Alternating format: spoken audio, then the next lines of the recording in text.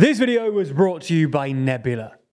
Having reported operating losses every year since they started publicly disclosing their finances, Uber has finally entered profitability, reporting a net income of $394 million for the last quarter, compared to a net loss of 2.6 billion in the same quarter of 2022. Now, that's clearly big news for Uber, but it doesn't mean that they're out of the woods just yet. After all, since the company was founded, they've lost a total of $31.5 billion in order to reach this point earning them the title of the magic money burning machine, which feels unfair, but with a track record like this, it's pretty hard to argue with. So, why has it taken so long for Uber to turn a profit? What finally turned things around? And can this profitability last long enough that they're able to earn back some of that lost 31 billion?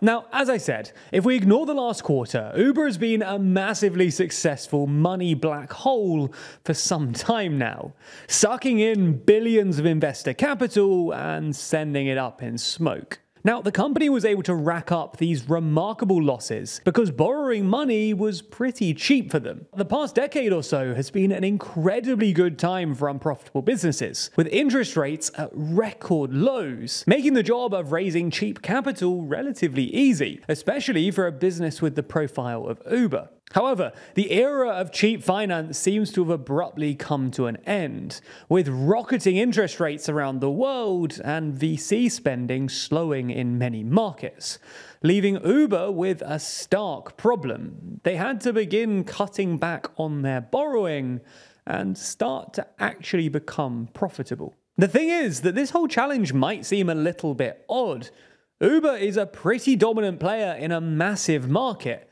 controlling large chunks of both the mobility and delivery space. So, how are they burning through quite so much money? Well, part of Uber's profitability problem comes down to its numerous legal cases, but a lot of it is an intentional business strategy. Generally speaking, a loss leading strategy is when a business sells goods or services for below cost, i.e., losing money for every sale they make. Now, this might sound a bit weird, but it makes sense for two reasons. Firstly, they hope that by selling you a product cheaply, you'll then be tempted to spend more on other products with higher profit margins. Take supermarkets, a type of business with infamously low margins. They regularly sell basic goods like eggs and milk at a loss, hoping that these cheap staples will lure you into the store where you may be tempted to pick up some higher margin items while you're there, like vitamins, coffee, or pre prepared food. Because, I mean, you're there anyway. The other popular reason to follow a loss leader strategy is to achieve market domination. If you can undercut your competition and push competitors into irrelevance, you're able to dominate the market, jack up prices, and begin to make money. And these strategies aren't mutually exclusive either. Printer companies pretty effectively use both of these strategies in tandem. That's because the big manufacturers sell their printers at such a low price that you're tempted to buy them over other brands. This, in essence, pushes other players out of the market who can't afford to sell their printers for such a low price. And then, once you've bought the cheap printer, they've also got you locked in so that they can charge extortionate prices for ink refills, often to the extent that it feels cheaper to just buy a new printer altogether. Going back to Uber, they've also employed this strategy. When Uber first launched, and whenever they enter new markets, they regularly intentionally offer reduced pricing. Now, that makes sense. It's a strategy that many other businesses use too to try and get you to give them a go. But since Uber's launch, and, and especially since they've begun to dominate each respective market, many have accused them of jacking up prices.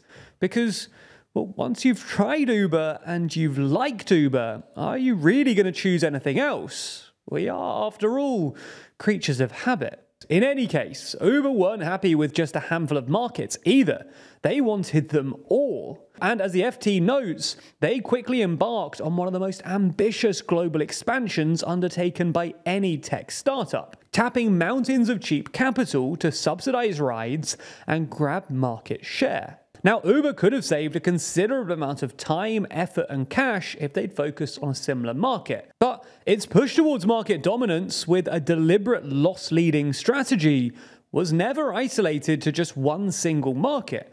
Because they wanted more than just local dominance. They wanted, and continue to want, global dominance. And this has been a broadly successful strategy. Back when they first started, Uber was a cheap and accessible alternative to incumbent taxi and transportation offerings, something that they were happy to boast about in their marketing. But now, with Uber dominating the space, it's not uncommon to see Uber's fares creeping back up to the levels that we saw prior to their entry into the market, pushing back up to those old taxi prices. Now, the company would defend this by saying that increased regulation and lawsuits surrounding their business practices have forced them to increase fares. But it does look like they've just followed a pretty standard playbook, one forged by supermarkets and perfectly followed by fellow tech darling Amazon. That being said, Uber's profitability can't just be attributed to a single policy or pursuit. Many see this as a broader turnaround for the business, with many attributing this success to Uber's CEO, Dara Khosrowshahi. Khosrowshahi, previously CEO of Expedia, became the CEO of Uber after its co-founder was forced out of the company. Since becoming CEO, though, Khosrowshahi has led the company in acting aggressively to rein in costs and raise prices with subsidized rides and deliveries largely ending as a practice altogether. But while the move to profitability is a big shift for the company, it's not all good news. Uber is still facing increased competition from others in the ride hailing and delivery sector, notably Lyft and DoorDash. Uber might be able to raise prices due to a lack of competition, but they're not totally alone here. The company has been able to dominate over its competition by using its successful business practices and by breaking down regulation and successfully entering new markets. But the thing is that with the regulation broken down and the barriers smashed, it's also easier for new competitors to follow them. In fact, if you delve deeper into Uber's press release announcing its second quarter results, something other than ride hailing and food delivery jumps out as a major profit area for the company advertising. As first reported by marketing trade magazine The Drum, though Uber's increased profits can be attributed to a number of factors, including layoffs and a cutback in discounts and incentives, among the largest influences has been its burgeoning advertising business. That's because in app advertising has now been added to both its Uber and Uber Eats app, with the company reporting advertising's revenue run rate at over $650 million. So it's clear that there's a number of factors behind Uber's recent success. Their new CEO has put an increased focus on reducing costs and pushing up prices for riders. And they've also clearly benefited from market forces and their increasingly global strategy, as well as a push towards advertising.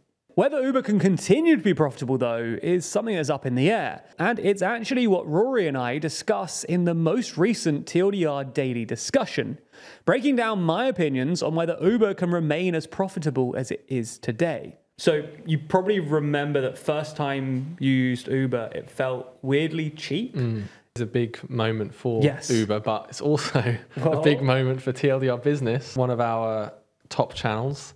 Uh, I mean, I don't know. Give me one top, metric. Top seven. Top seven channels. One of our top seven channels. Yeah, yeah, yeah. Stay on me, Jan. Don't change that camera. If you enjoy diving into topics like this, if you're the kind of person who wants the even smarter and more analytical side of these stories, then you'll really enjoy our new series, The Daily Discussions, where we cover a number of important topics, from the endless coups in the Sahel region, the Twitter rebrand, and the specifics of the war in Ukraine. Now, the TLDR writing team hosts these daily discussions most days, diving deeper into the news stories we write about and unpacking the hidden details that they found fascinating, but were either too long or too academic to make it into the final scripts. If you want to check the series out, then you can find the episodes exclusively on Nebula. The best news is that Nebula is less than £2 a month and provides you with ad free and exclusive videos from TLDR and a whole ton of other incredible content creators like Johnny Harris, Real Life Lore, and Legal Eagle. Check it out by clicking the link in the description and make sure you use our link so that they know you came from us.